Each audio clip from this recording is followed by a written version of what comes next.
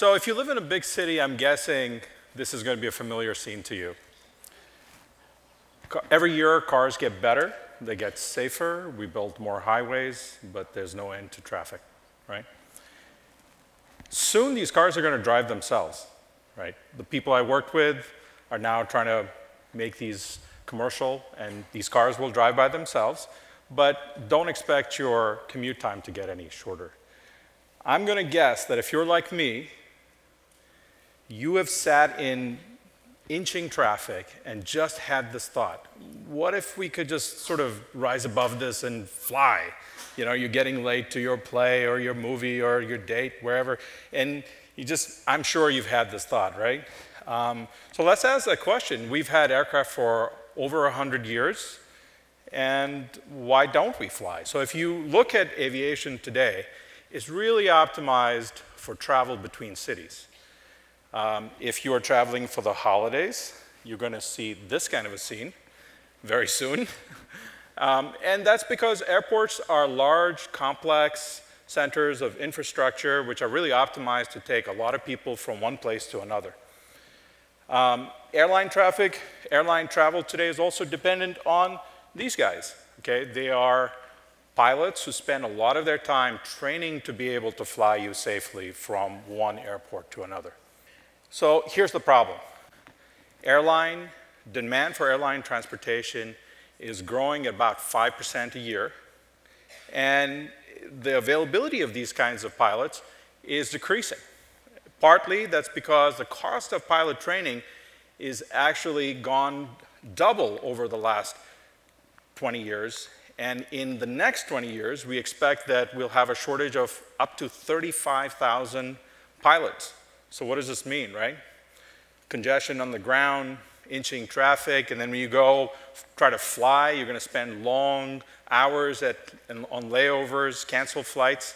Isn't there any other way? Well, I, I just want you to remember two things. If we're going to disrupt transportation, we're going to have to deal with airports and trained pilots. So this thought has been around for a long time, okay? A hundred years ago, we were thinking in the age of the coming automobile, becoming popular, we were thinking about the aerobile. In 1924, popular science had this idea in just a little while, it was going to be possible for you to live in the suburbs and fly to work. And they claimed that it would be quicker and safer to fly to work than it would be to drive to work on roads and highways a little ahead of their time, I think you'll agree. So that didn't happen, but here's what we got in the 1960s. In the age of rocketry and then, then airplane travel becoming popular, we got the Jetsons. Now, what many people forget is the Jetsons were thinking about not the 22nd century or the 23rd century, they were thinking we would be flying to work today. So in the 1960s, Flying cars had captured the public imagination, and people were thinking, well, what if we could park this thing in our driveway and then just somehow or the other get to where we're going? So now, fast forward to a little bit longer, a little bit after that, uh, we started to see these kinds of vehicles come into being, okay? They were the first vehicles other than helicopters that looked like they were the, they could be the flying cars. They in 1962, the US Army commissioned what was the first air jeep to be able to take off from anywhere and land anywhere. It only flew for a few minutes and it was really difficult to control, but that was the first flying car I'm going to uh, give you. The year that I was born, there were already people uh, doing this kind of thing. Okay, so we can get rid of airports, but okay, we still need trained pilots. So fast forward 50 years, and now we are at the cusp of a completely new type of air travel. So these aren't just artists' imaginations, they're that, but also these are vehicles that are likely to come to being and be flying in the next few years. And the revolutionary concept is this, that of course they can take off and land anywhere, but you're going to get inside one of them, or this is the concept at least, and press a button and it will fly you to where you need to go. So the second piece, right? you don't need airports, you need, don't need trained pilots. So this is where my story comes in. For the last 15 years, what I've been doing is I've been developing aircraft of all sizes that fly by themselves. Small ones, big ones, and possibly the ones that will actually guide um, airline travel or air, air travel in the future, the flying cars of the future. So what I'm going to do now is I'm going to try to boil down a whole bunch of stuff that I've been doing for the last 15 years into what is it that's going to be necessary for these things to be good enough that you would get on one of them or put your kid in one of them and send them off to their violin lesson. You know, press the button, go. Right? So here's what I'm going to contend. The aircraft of the future that will have to fly safely, have to fly credibly, are going to have to do two, three things. They're going to have to fly safe, land safe, and then do it without GPS. So fly safe part is easy, right? Fly safe is aircraft is flying along, something in its way that it hadn't planned on, it detects it, it avoids it, and then goes on its way. Land safe is like you're flying along and suddenly the aircraft has to pull over for some reason.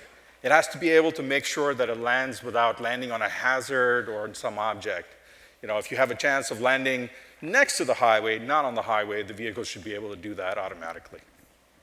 The do it without GPS, I'm going to take a minute and I'll explain that to you what that's about.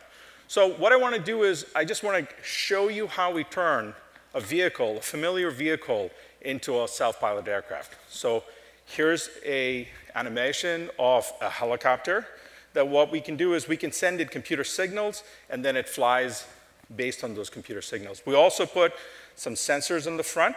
We'll put a laser scanner in the front, and then we'll put computers in the back. Laser scanner will take measurements, hundreds of thousands of measurements um, per second. It will try to make sense out of that in the back on the computers, and the vehicle will guide itself and land itself safely. Here it is, it's flying, and what it's doing is it's um, making measurements as it flies, looking at things in front and looking at things below, and making this kind of a map so it can actually fly safe and land safe. So this is all data that's coming in, created into a map in real time, and it's used, that data is used to be able to make these kinds of determinations. To, to show you how this works, I'm going to take you to an actual experiment we conducted for a mock casualty evacuation scenario for the Army. The Army is concerned about not having to put more people at risk when they go get somebody uh, that has been injured. So the idea is, could you have an autonomous vehicle fly to the location of a casualty,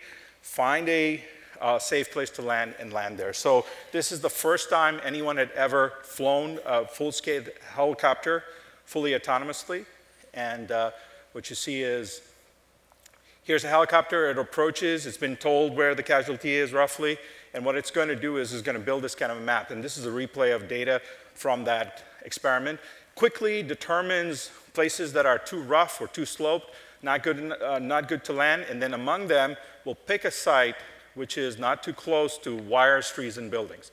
So you can see vehicle approaches, flies over, and without loitering, it circles around, it's already picked a place, and what it's gonna do is land.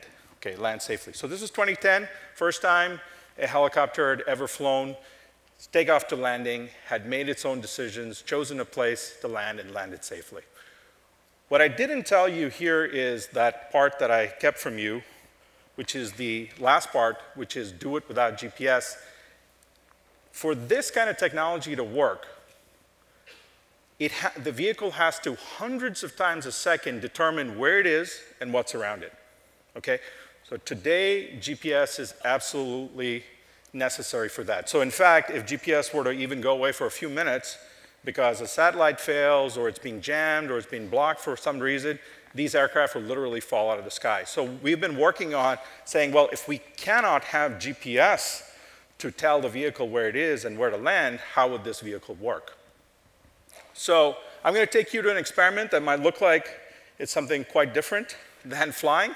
What we're going to do is I'm sure, going to show you an experiment from somebody running and jumping with a laser scanner bolted to their head. So this is a sort of a scientist ninja, which you'll see, right?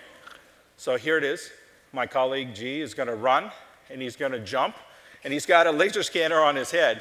And what you're seeing here is data from that laser scanner in real time as it's coming in. But then he has a little computer in his backpack that's able to take all that data, collate it together, and in hundreds of times a second, locate where that laser scanner is and the map that's around it. Okay, so this is all done in real time. So now what we can do is we can fly safe, land safe, and do this all without GPS. So let me show you how that works. Here's an aircraft that in its final descent is going A to B. It doesn't use any GPS. It's building this kind of map. And what you're seeing here is a, what we call a point cloud based on millions of range measurements, distance measurements that it's taking as it flies and putting it together. So here it is. Um, let's see.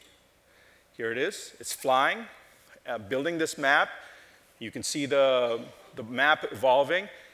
Turns out that there is a farm machine right in its way, so the vehicle is able to notice it, detect it, and then safely plan a path around it and land safely.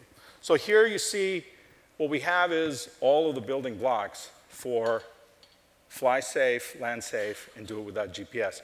What's new is actually the components are now becoming small and the software can run on non-exotic computers. What it takes to run this kind of stuff is something that's in your laptops today. You can see the kind of maps this vehicle is, uh, uh, starts to build as it is going, and it can understand the environment make decisions based on this environment.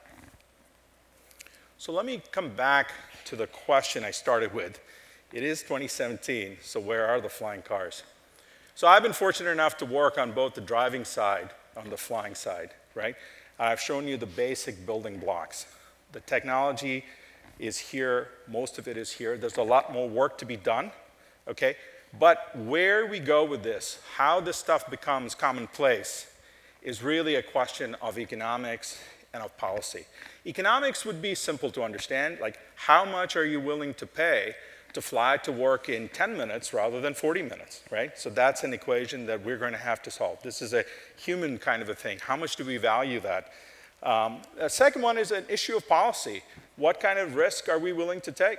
Okay, in some cases, it may be very easy to justify this. In fact, some of the people we work with said if we had these kinds of cars, if we had these kinds of vehicles, they would be used in Puerto Rico a few months ago or a few weeks ago when they had to deliver uh, supplies and they didn't have any roads, they didn't have any way to get there. Okay? So it's really actually about a human factor. So I keep getting this question cars or airplanes, which ones are coming first, the ones that drive? If you ask me, I say, why drive autonomously when you can fly autonomously? so I say, look up and let's fly. Thank you. Thank you.